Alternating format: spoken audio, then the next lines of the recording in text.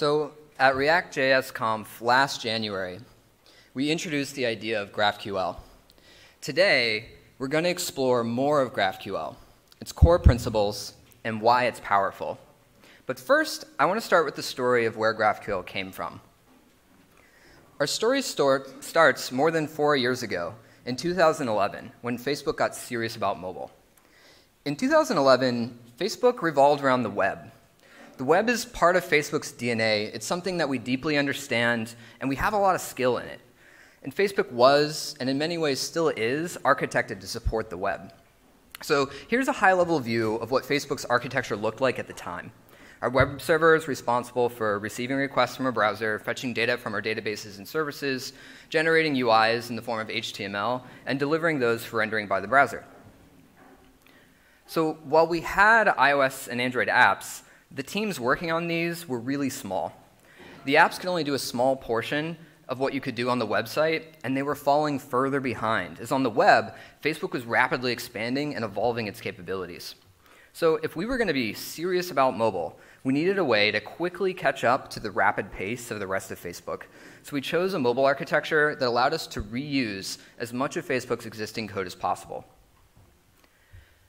Our native apps were simply mobile web browsers wrapped in a native frame that visited a slightly customized version of Facebook's mobile website. This allowed us to reuse all of the work going into our web server and didn't change how engineers at Facebook were used to building things. For our primary goal of supporting all of Facebook on mobile, this was a resounding success. We were able to develop a considerable surface area of Facebook for mobile devices in well under a year, and we succeeded in shifting the company's focus and attention to mobile. But there were some issues. As our mobile apps became more sophisticated, we started employing larger images, videos, and rich animations and gestures. Mobile web browsers, they just couldn't keep up. At best, we had poor frame rate, and more often than not, the mobile web browser, it would just simply consume all available memory and crash our app. So while Apple originally released iOS with the web browser as the primary tool for app developers, it was pretty clear that mobile web was not their priority when new versions of iOS would be released without fixing bugs or improving performance of their web stack. Android's browsers were even more problematic. So in the beginning of 2012, we started an effort to develop truly native implementations of Newsfeed, the most important piece of Facebook and the first thing that you see when you open our app. So this might sound like an obvious thing to do, it was a far from modest undertaking. For the first time, our client side was doing a lot of work. It didn't speak in terms of page URLs and HTML, but instead in terms of models and views. And it required us to rethink our architectural stack. So in order to serve the native apps the data that they needed to fill their models and render their views, we had to figure out how to request, prepare, and deliver that data from our existing servers, which up until that point had been designed to only deliver HTML. So we tried a few approaches. We started with our RESTful public API. And as we went down this path, we realized that we were writing a ton of client code to deal with the network. We had to coordinate multiple requests to get all the information that we needed to render the app, which could result in a lot of expensive round trips. Also, each request had a slightly different response shape, and not the shape that we wanted to use as the model in our app, so there was also a lot of custom parsing logic. And at the time, you know, the REST API it was designed with a different audience in mind, with different goals in mind. It queries individual resources, and it's really good at that. But we needed to look for something more structured. So FQL, it's Facebook's public API exposed using a variant of the SQL language. FQL, it's a really powerful tool. It exposes data in a structured way, and for a while this met our needs. But few of us could really understand the really complicated multi-join queries required to get all the necessary information to render our app. And we frequently made mistakes, and maintaining this thing was pretty hard. And we realized that beyond any surface level issues, what we really didn't like about these approaches is that they didn't present data in the same way that we think about data. We don't think about our data in terms of join tables, secondary keys, or resource URLs. We think about our data in terms of objects, properties, and relationships. We think about our data as a graph. Most importantly, we think about it in terms of the client models we ultimately use within our apps, whether that's JSON or NS objects. So with this in mind, a few of us started building what would become GraphQL, as a way of expressing the needs of our native apps in terms of how our product designers and developers actually think about the underlying data. And this seemed to work. A couple months later, GraphQL was powering a newly built native newsfeed. And the first iOS app powered by GraphQL hit the App Store almost exactly three years ago today. And GraphQL, it now delivers data to over 1,000 active versions of our mobile apps and serves over 260 billion requests per day. This new architectural stack powered by GraphQL, it's become the primary way that we build mobile applications and the servers that power them at Facebook, and we've continued to evolve GraphQL. And later today, Joe Savona is going to tell you about Relay, which is a library that brings a lot of what we've learned from using GraphQL in our native applications back to the web, which brings this whole thing full circle. So let's take a look at GraphQL and see how it feels to use it. This is the hello world of GraphQL queries. I want to query my name.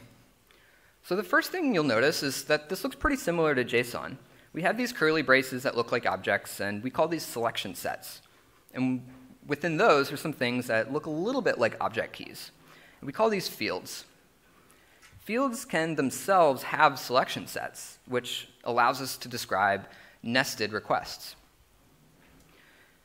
When we send this query as a string to a GraphQL server, it gets parsed and executed. And the response looks something like this as JSON. You can see that the response and the query have really the same structure. And this is an important part of why GraphQL is easy to learn and use. A GraphQL query describes the shape of the resulting data. Here, the name field is a property of my user object on Facebook. But what exactly is me field a property of? The top level of GraphQL query, it re represents all the capabilities that GraphQL can do, um, more or less all the data. Since a graph has no starting point, no middle, no end, the fields that it offers at the top level provide various points of access at which point you can start a request. So in this example, me gets back my Facebook user object, and I can start from there. Uh, but this doesn't have to be the only way. Here's another more programmatic way to access my user object, um, or anyone else for that matter. And this pattern of looking things up by ID, it's pretty common in GraphQL, you know, for the same reasons it's common in other query systems. Um, and here, ID is a field argument. So providing field arguments, it causes fields to behave slightly differently. We can change their behavior. You can kind of think about fields like functions that return values. And, you know, sometimes functions need arguments. We can also request fields that have complicated values, complex values. Here, profile picture, it's a complex field. It has some information about width and height and uh, a URL to load the image. And I bet you can already guess what the response is going to look like since GraphQL describes the shape of the resulting data. So in GraphQL, you have to specify fields in your query all the way down to scalar leaf values. And in this example, width, height, and URL are all scalars, numbers and strings. This ensures that there's no ambiguity in the information that is needed by your app, and there's no over or under fetching. And the result is always predictable by the query itself. So at Facebook, profile pictures come in a lot of sizes. While the default profile picture might be 50 pixels, uh, we can request one of a specific size. So again, we're using a field argument, and that changes the field's behavior. And it results in a slightly different size profile picture in the result. But what if we wanted the same picture in multiple sizes? Well, we can request the same field multiple times by using aliases.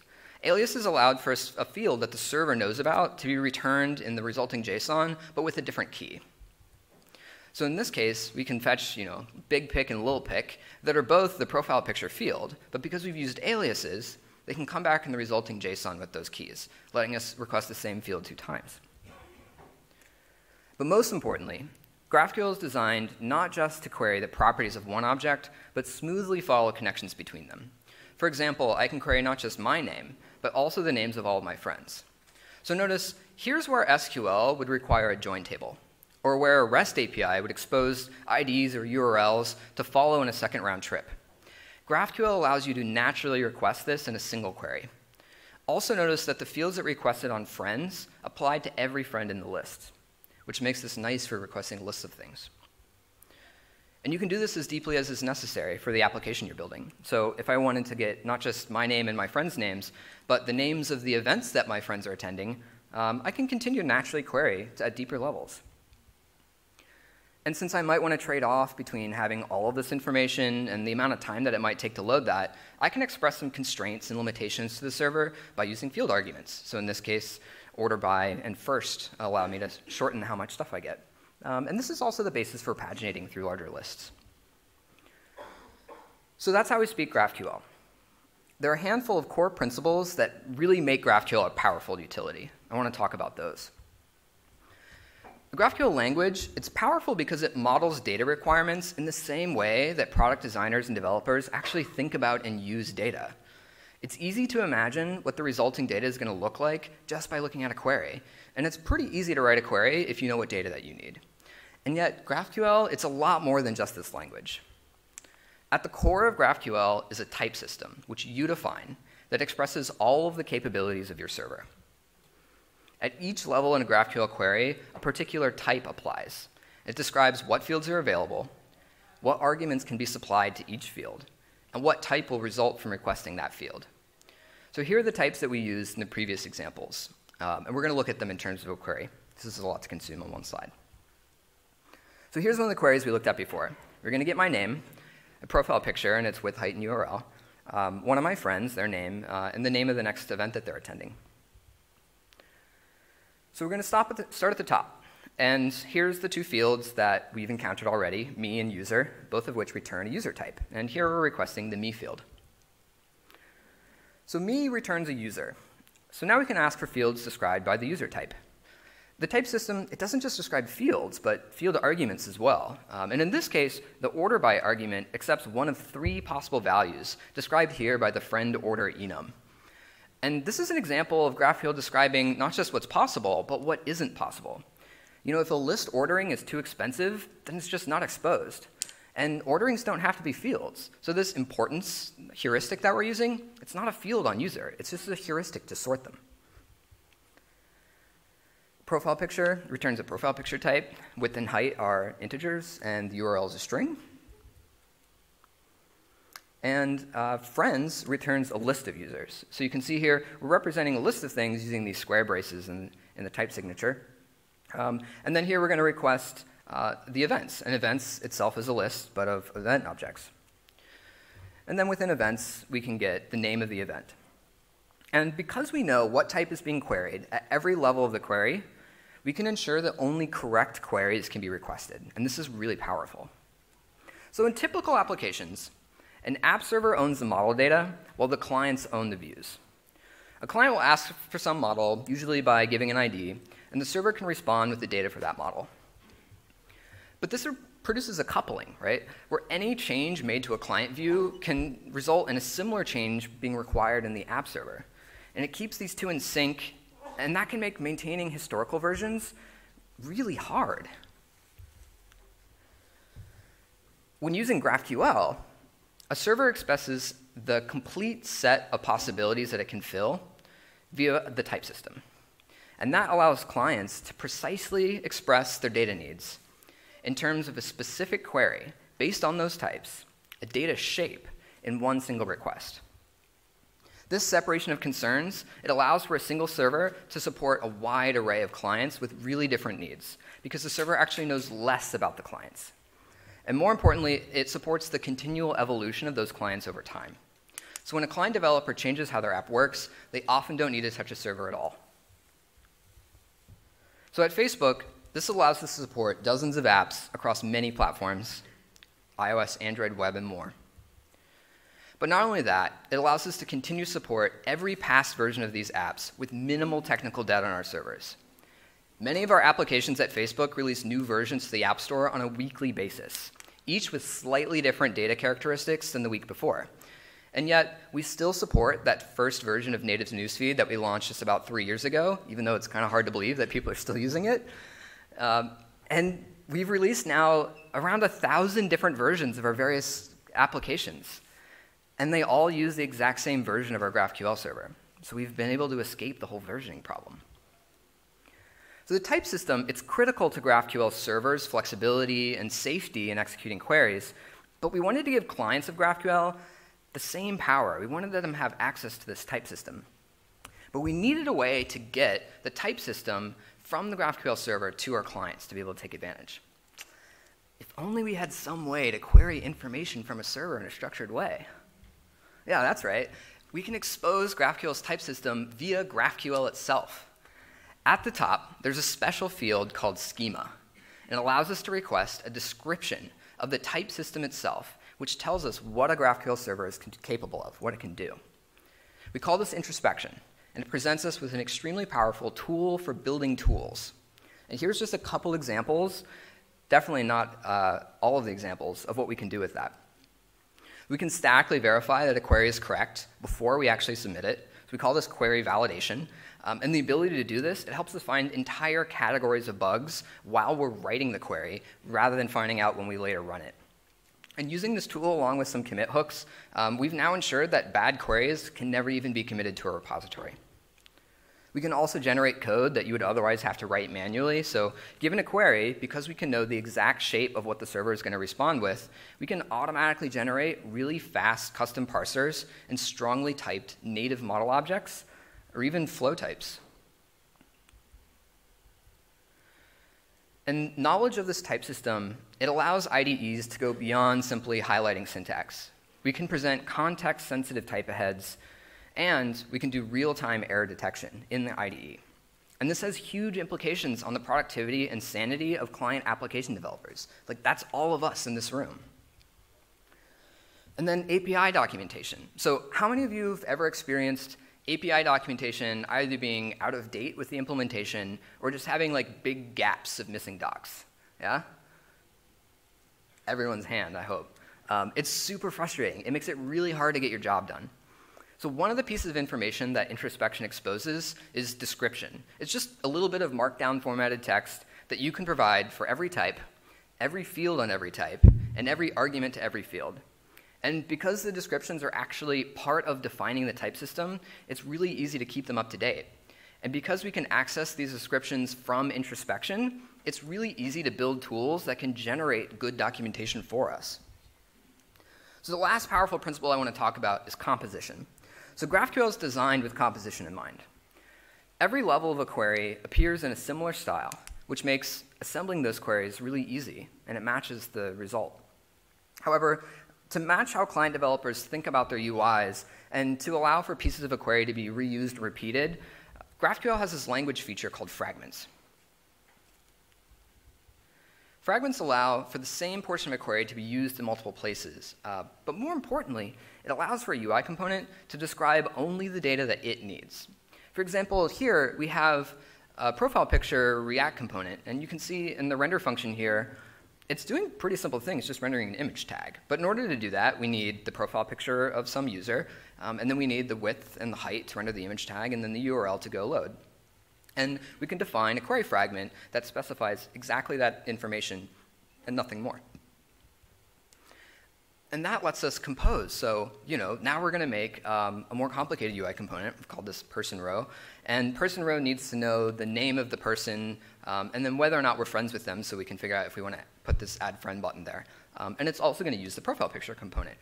So rather than specifying all the data that this thing needs in addition to all the data that its children needs, it specifies all the data that it needs directly, as well as referencing the fragment of the nested component.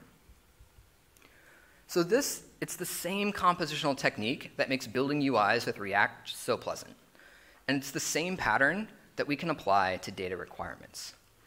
When we're building large, complicated applications, coupling the data requirements to the UIs that use them allows for fields to be added or removed with a lot of confidence, and it makes it really easy to avoid overfetching or underfetching.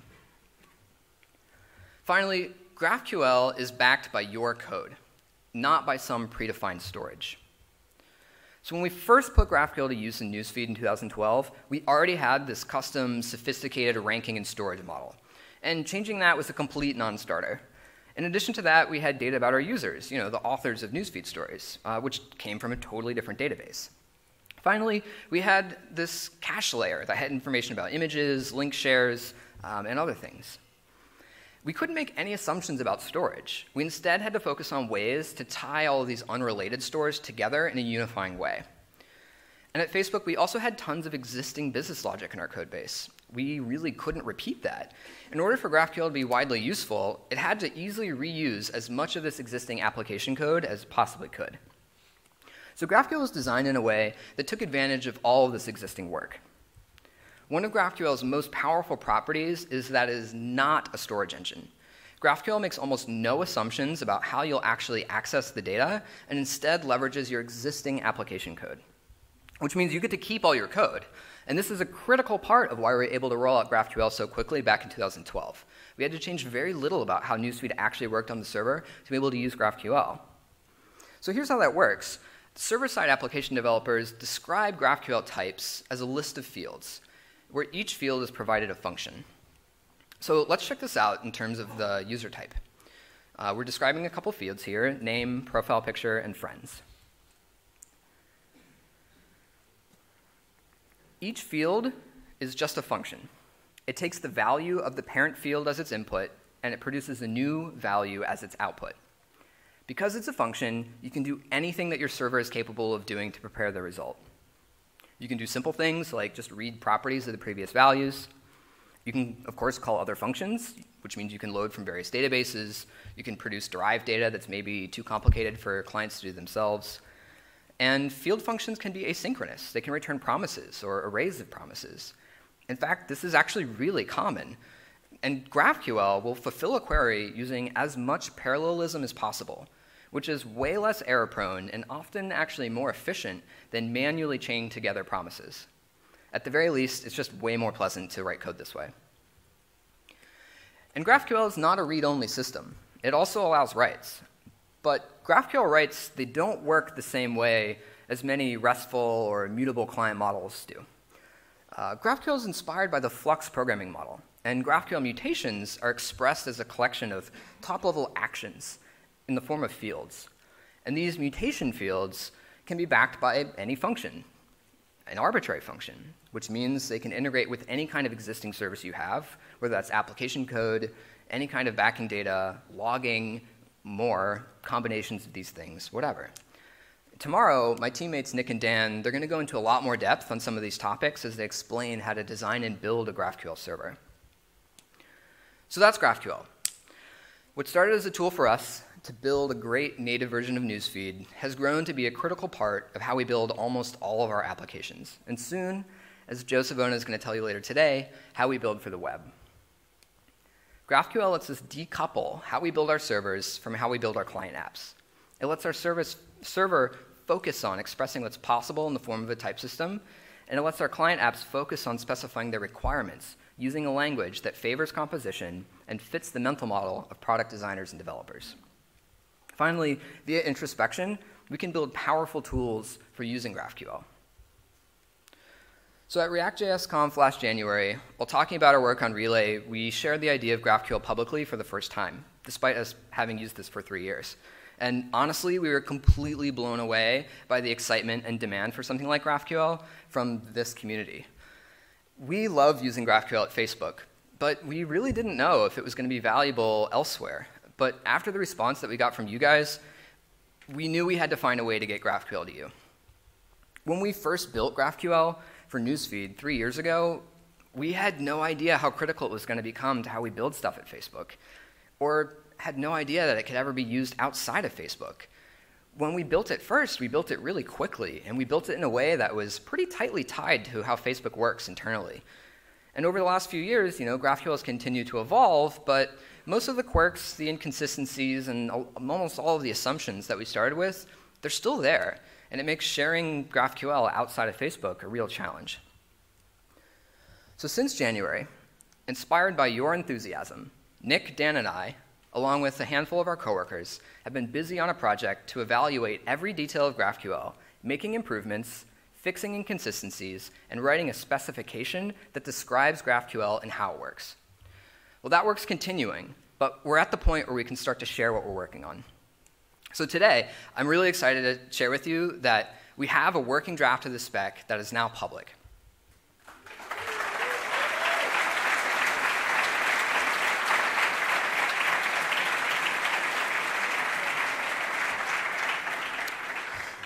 We really hope that this helps those of you who are excited to build versions of GraphQL for your own servers. And we're really looking for your feedback as we continue the work to improve and refine GraphQL. But we also wanted to give you something more concrete that you could actually start to play with. Um, so we built a second implementation of GraphQL as a reference for server implementers that complies with our spec. And I think you'll be happy to know that we built this in JavaScript.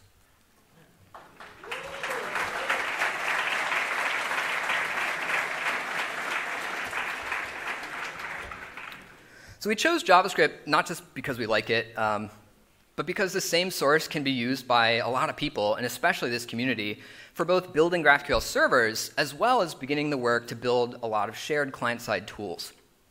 And there's still a ton of work that needs to be done, um, but today we're opening this up on GitHub as a technical preview for those of you who are interested in building GraphQL servers and building client-side tools for GraphQL and you know, as a resource for those of you who want to build GraphQL implementations in other languages or environments and would love to look at an existing implementation uh, to base your work off of. So we're looking forward to building tools for clients of GraphQL in the future and continuing to improve GraphQL.js. So our work is definitely far from done here, um, but we're really excited. You know, we see GraphQL as a common way to describe and request information, regardless of the language or environment that your backend servers are using, or the language environment that your client applications are built in.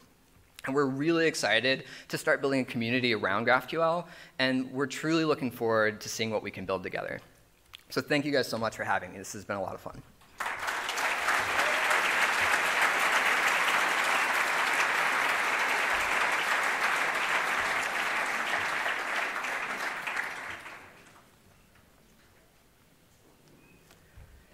No questions now, but come find me later.